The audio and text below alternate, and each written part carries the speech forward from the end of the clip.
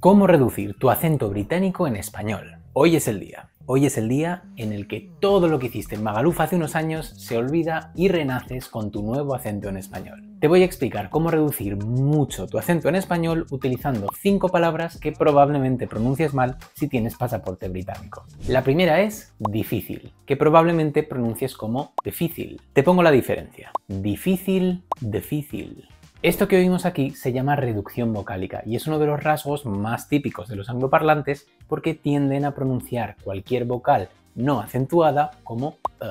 Pero en español todas las vocales deben articularse en su lugar específico independientemente de si están acentuadas o no. Por eso no decimos les niños y las niñas, sino los niños y las niñas, ni buenos días, sino buenos días. De igual manera, cada vez que veamos un diptongo en español, vamos a pronunciarlo con la abertura de antes. Euro no se dice euro, sino euro. Pero ojo, que no solo son las vocales los elementos que te delatan, también hay un montón de sonidos consonánticos que estereotípicamente te identifican como inglés, como por ejemplo la R en palabras como pero y perro que probablemente pronuncies como pero y pero. En inglés, la R se pronuncia con la lengua doblada hacia atrás, llevando la punta hacia el paladar.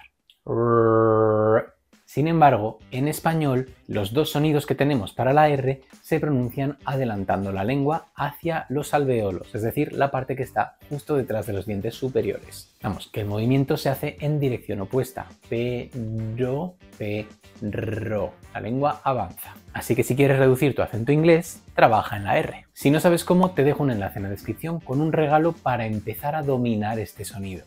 Porque si ya es difícil hacerlo cuando sabes lo que tienes que hacer, imagínate lo jodido que es cuando no tienes ni idea de por dónde empezar. Otro sonido bastante problemático es el de la Y en paella. En español, este sonido se produce acercando la parte central de la lengua al paladar, pero en inglés no existe este sonido. Por eso se tiende a ir hacia la vocal I.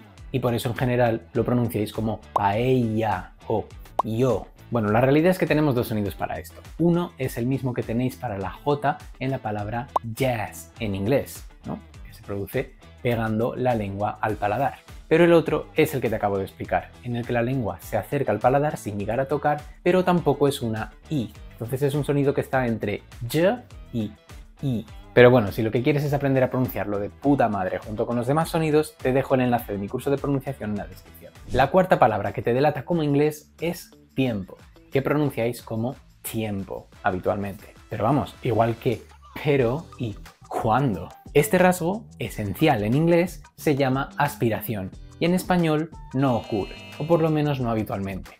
Ya sé que en Andalucía en algunos contextos sucede y ya sé que en Colombia en algunos contextos sucede, pero no es lo habitual en ninguna variedad del español. Por suerte, esto es muy fácil de cambiar, porque si piensas que los sonidos p, t, k se articulan igual que b, d, g, a diferencia de que estos últimos se producen haciendo vibrar las cuerdas vocales y p, t, k no, es muy fácil establecer pares mínimos, como boca, poca, dono, tono, godo, codo, pero siempre te voy a recomendar que le escribas a un profesional para que te ayude y te asesore de verdad. Y la última palabra es agua. Esta palabra no se pronuncia agua. Este sonido, g, existe en español, pero no se pronuncia entre vocales. Se pronuncia sin cortar el aire por completo, así.